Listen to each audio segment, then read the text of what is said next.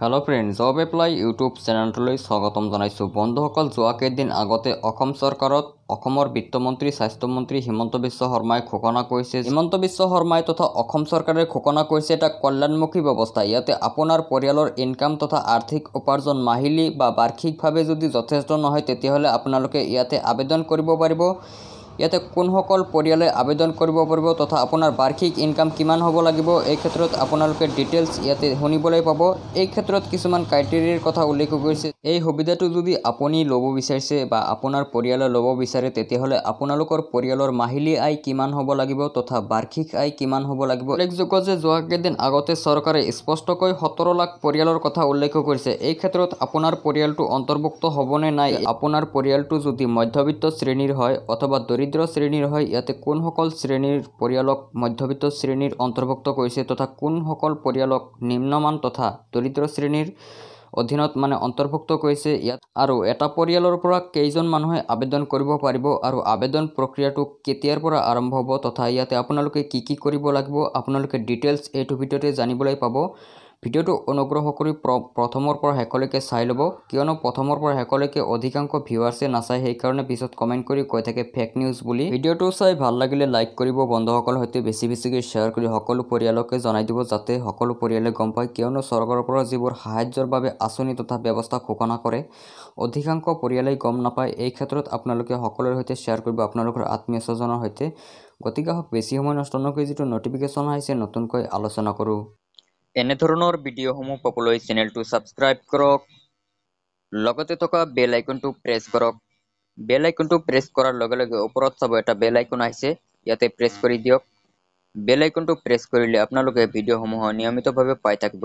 যদি কোনোবাই এতিয়ালৈকে বেল আইকনটো প্ৰেছ কৰা নাই সোনকালে প্ৰেছ কৰি লওক। ধন্যবাদ। বন্ধুসকল অৰুণোদয় আঁচনিৰ বাবে যোৱা কেইদিন আগতে মন্ত্ৰী হিমন্ত বিশ্ব শৰ্মাই যিটো ঘোষণা কৰিছে সেই ঘোষণাৰ পৰৱৰ্তী সময়ছোৱাত নতুনকৈ এটা খবৰ ওলাই আহিছে। অৰুণোদয় হিতাধিকাৰীয়ে কেনেকৈ লাভ কৰিব আঠশ ত্ৰিছ টকাকৈ পৰক সবিশেষ এই ক্ষেত্ৰত আপোনালোকে কোনসকল পৰিয়ালে লাভ কৰিব আঠশ ত্ৰিছ টকাকৈ ইয়াৰে পিছৰ পেষ্টত আপোনালোকে দেখিবলৈ পাব। আপোনালোকৰ পৰিয়ালটো যদি মধ্যবিত্ত অথবা নিম্নবিত্ত শ্ৰেণী তেতিয়াহ'লেহে আপোনালোকে এইখিনি ধন লাভ কৰিব। ইয়াতে আপোনালোকে ইয়াৰ পিছৰ পেষ্টত দেখিবলৈ পাইছে। ইয়াতে লিখিছে সন্মুখত দুহেজাৰ একৈছ চনৰ বিধানসভা নিৰ্বাচন ঘোষণা কৰা হৈছে ইখনৰ পিছত সিখন আঁচনিৰ কথা। ৰাজ্যৰ প্ৰভাৱশালী মন্ত্ৰী ডক্টৰ হিমন্ত বিশ্ব শৰ্মাই অৰুণোদয় আঁচনি ঘোষণাৰে এক সংবাদমেলো সম্বোধন কৰিছিল।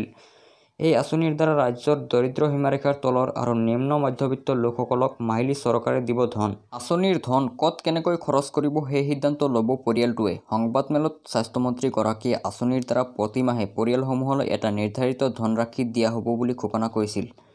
তাৰপিছতে অৰুণোদয় আঁচনিখনৰ মূল উদ্দেশ্য হৈছে অৰ্থনৈতিক সক্ষমতা বৃদ্ধি কৰা।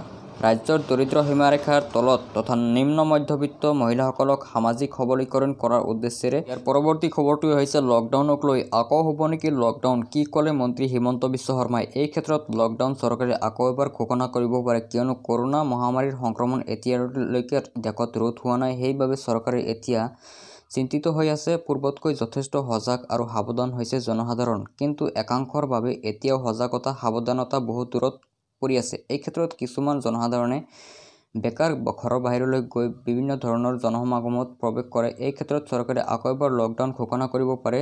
তাৰে ইয়াৰ পিছৰ পেষ্টত চৰকাৰে কিছু কথা উল্লেখ কৰিছে। যি সময়ত আনলক প্ৰক্ৰিয়া আৰম্ভ হৈছে তেনে সময়তে পুনৰ লকডাউনৰ ইংগিত প্ৰদান কৰিছে হিমন্ত বিশ্ব শৰ্মাই। আনলকৰ লগে লগে খুলিছে সকলো ব্যৱসায়িক প্ৰতিষ্ঠান। মুকলি আকাশৰ তললৈ আহিছে জনসাধাৰণ। কিন্তু এই আনলক উপভোগ কৰোঁতে যাতে জনসাধাৰণে মাস্ক পৰিধান আৰু সামাজিক দূৰত্বৰ বিধি যাতে পাহৰি নাযায় তাৰ বাবে হিমন্ত বিশ্ব শৰ্মাই দিলে সকিয়নি। জনজীৱন স্বাভাৱিক হ'লেও কৰোণা পৰিস্থিতি স্বাভাৱিক হোৱা নাই। মাস্ক পৰিধান কৰি সামাজিক দূৰত্ব বজাই ৰাখিবলৈ সকলোকে বিনম্ৰ আহ্বান জনাইছোঁ। পৰিস্থিতি বেয়ালৈ গতি কৰিলে পুনৰ প্ৰযোজ্য হ'ব লকডাউন মন্ত্ৰী হিমন্ত বিশ্ব শৰ্মাৰ এই মন্তব্য। পূৰ্বতকৈ যথেষ্ট সজাগ আৰু সাৱধান হৈছে জনসাধাৰণ। কিন্তু একাংশৰ বাবে এতিয়াও সজাগতা সাৱধানতা বহুত দূৰত। নিপিন্ধে মাস্ক নাই সামাজিক দূৰত্ব কোনো চিনচাপ। ইয়াৰ পৰৱৰ্তী খবৰটো হৈছে এক ছেপ্টেম্বৰৰ পৰা কৰ্তব্যৰত যোগদান কৰিব লাগিব শিক্ষক শিক্ষয়িত্ৰীসকলে কেতিয়া স্কুললৈ আহিব পাৰিব ছাত্ৰ ছাত্ৰী এই ক্ষেত্ৰত এটা গুৰুত্বপূৰ্ণ আপডেট ওলাই আহিছে চৰকাৰৰ পৰা। উচ্চতৰ মাধ্যমিক পৰীক্ষাত প্ৰথম বিভাগত উত্তীৰ্ণ বাইছ হাজাৰ ছাত্ৰ ছাত্ৰীয়ে এখনকৈ স্কুটি পাব। পোন্ধৰ আগষ্টৰ পৰা স্কুটি বিতৰণ আৰম্ভ হ'ব।